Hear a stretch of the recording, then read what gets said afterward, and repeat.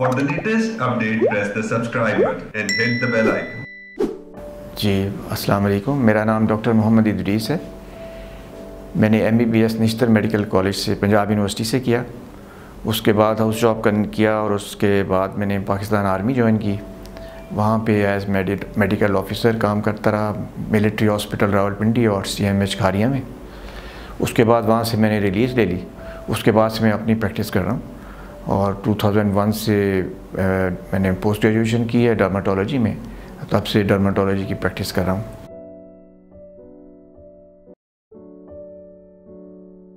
زیادہ انٹرسٹ جو ہے، وہ لیزر ہیئر ریموول میں ہے۔ اس میں ہم آئی پی ایل بھی یوز کرتے ہیں اور لیزر بھی۔ اس میں انوانٹیڈ ہیئر جو ہیں، زیادہ تر تو فیمیلز کی پرابلم ہوتی ہے۔ فیس کے ایکسیسو گروتھ ہو جاتی ہے بالوں کیا تو اس کے لیے یوز کرتے ہیں کافی افیکٹو رہتا ہے۔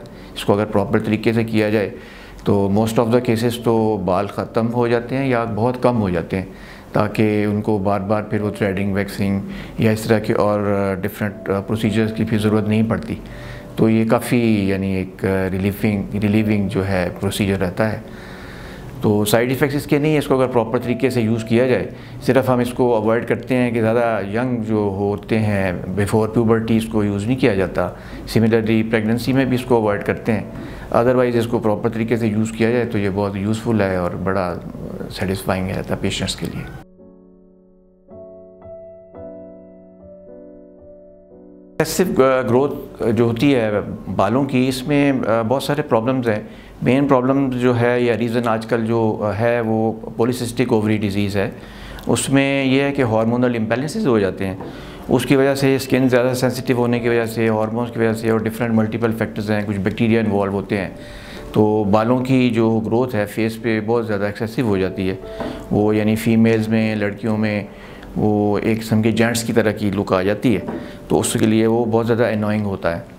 کے علاوہ بعض لوگوں میں ویسے بھی فیملیئر ٹینڈنسی ہوتی ہے فیملیز میں ایسے رن کرتے ہیں۔ تو لیکن یہ ہے کہ اگر پولیسسٹک اووری ڈیزیز ہے، اس کا ساتھ ساتھ ٹریٹمنٹ لیا جائے اور یہ لیزر کا ٹریٹمنٹ بھی ساتھ ساتھ اگر انیشیٹ کیا جائے تو بڑے اچھے ریمارکیبل ریزلٹس آتے ہیں۔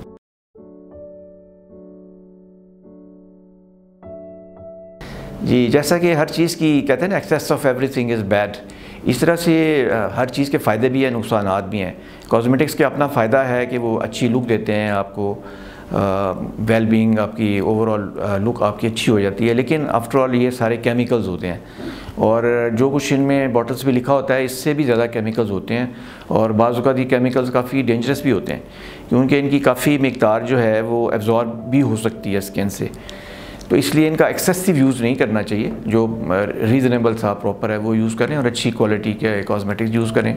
کیونکہ ان میں بہت سی جو انفیریئر کوالٹیز ہیں، وہ ان میں بڑے ہارڈ میٹلز وغیرہ یوز کرتے ہیں جس میں آرسینک ہے، وہ اسکن میں ابزارب بھی ہو جاتا ہے، جو کہ باڈی کے لیے بہت خطرناک ہے، اس لیے ذرا محتاط ہو کے ہی یوز کرنا چاہیے، زیادہ، بہت زیادہ ایکسیسو یوز اس کا نہیں کرنا چاہیے۔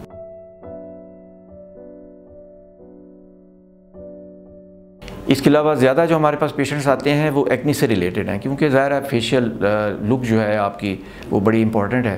تو خواہ لڑکے ہوں یا لڑکیاں ہوں تو ٹین ایج میں خاص طور سے یہ جو دانے پمپلز نکل آتے ہیں فیس پہ، یہ بہت انوائنگ ہوتے ہیں۔ بلکہ بعض بچے میں نے دیکھا بہت ہی ڈپریشن میں چلے جاتے ہیں۔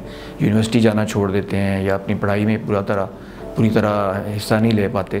تو ان کے لیے اس کا ٹریٹمنٹ جو ہے بہت ضروری ہے۔ بعض ہمارے ہاں یہ مت ہے کہ جی اس کو چھوڑ دیں یا جوانی کے دانے ہیں، خود ہی ٹھیک ہو جائیں گے۔ وہ ان مینی کیسز ٹھیک تو ہو جاتے ہیں، لیکن پھر وہ آہستہ آہستہ بڑے ہو کے اس کے بعد جب ہیل ہوتے ہیں تو وہ گہرے نشان چھوڑ جاتے ہیں، بلکہ بعض کا تو پٹس چھوڑ جاتے ہیں، جنہیں آئس پک اسکارس کہتے ہیں، چھوٹے چھوٹے کڈے پڑ جاتے ہیں۔ وہ لائف لانگ رہتے ہیں، وہ بہت زیادہ انوائنگ ہے۔ تو اگر شروع میں ہی اس کا ٹریٹمنٹ کر لیا جائے، تو پھر ان چیزوں سے اوائڈ کیا جا سکتا ہے۔ تو ایکنی کا جو ٹریٹمنٹ کرتے ہیں، اس کا بیسک آبجیکٹیو یہ ہوتا ہے کہ یہ جو کمپلیکیشن ہے کہ آپ کی چہرے کی جو ڈسفگرمنٹ ہے، اس کا وہ لک جو اس کی خراب ہو جاتی ہے پرماننٹ اس کو اوائڈ کیا جائے۔ اس کے علاوہ جو زیادہ پرابلم ہمارے پاس آتے ہیں، وہ چھائیاں ہیں چہرے کی، جن کو ہم ملازمہ کہتے ہیں یا فریکلز ہیں بلیمشز ہیں۔ اس کے بھی مختلف وجوہات ہیں۔ کچھ تو فیملیئر ٹینڈنسی ہوتی ہے۔ کچھ یہ ہے کہ دھوپ میں یا سن ایکسپوئر زیادہ ہے، تو اس میں بھی ہم پھر احتیاط، احتیاطی تدابیر بتاتے ہیں۔ سن بلاک کا یوز ہوتا ہے، کچھ کریمز وغیرہ ہوتی ہیں، لیکن ساتھ اس میں آئی پی ایل اور لیزرز بھی یوز کرتے ہیں۔ تو اس سے اچھے بڑے پرومزنگ ریزلٹس مل جاتے ہیں۔ لیکن بہرحال یہ ایک ریزسٹنٹ پرابلم ہے، بڑی جلدی ٹھیک نہیں ہوتا، لیکن بہرحال اس کے اچھے ریزلٹس آ جاتے ہیں۔ اس کے علاوہ ہمارے پاس زیادہ کیسز انفیکشنز کے آتے ہیں۔ اور آج کل کا جیسے جیسے ہیومیڈ سیزن میں عام طور سے فنگل انفیکشنز یہاں کافی کامن ہیں۔ تو ان میں اچھی بات یہ ہے کہ اگر ان کا ریگولر ٹریٹمنٹ کیا جائے تو ایک دو ہفتے میں وہ موسٹ آف دا کیسز وہ ٹھیک ہو جاتے ہیں۔ اور یہ ایک بڑی انوائنگ پرابلم ہے۔ تو اس طرح کی باقی دوسری انفیکشنز بھی ہیں جو کہ کیوریبل ہیں، ٹھیک ہو جاتی ہیں۔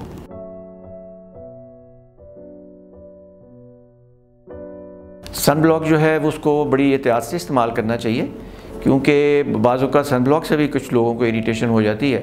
اس میں یہ ہے کہ اس کو کرنا چاہیے کہ اسکن برن نہ ہو جائے۔ اس میں ہم دیکھتے ہیں اسکن کی ٹائپ کیا ہے، زیادہ جیسے فیئر کمپلیکشن ہے یا ڈارک کمپلیکشن ہے، تو اس حساب سے اس کو ڈاکٹر ہی دیکھ کے اس کو سلیکٹ کرتا ہے۔ اس میں ایس پی ایف تھرٹی آتا ہے ایس پی ایف سکسٹی ہے ایس پی ایف نائنٹی ہے۔ تو ایسا یوز کرنا چاہیے جس کے، کہ آپ کو لگانے سے، آپ سر بند سے بچ سکیں۔ تو وہ بہرحال آپ کو ڈاکٹر جو ہے زیادہ بہتر طریقے سے ایڈوائز کر دے گا۔ آپ کی اسکن کی ٹائپ دیکھنے کے بعد۔ اس کو صحیح ڈیسائیڈ کیا جا سکتا ہے۔ اپنے طور پہ بہت زیادہ ایکسیسو یوز نہیں کرنا چاہیے۔ جی اگر آپ مجھ سے رابطہ کرنا چاہیں تو موسٹ ویلکم آپ مرم کے تھرو مجھ سے آپ کانٹیکٹ کر لیجیے I am available for your service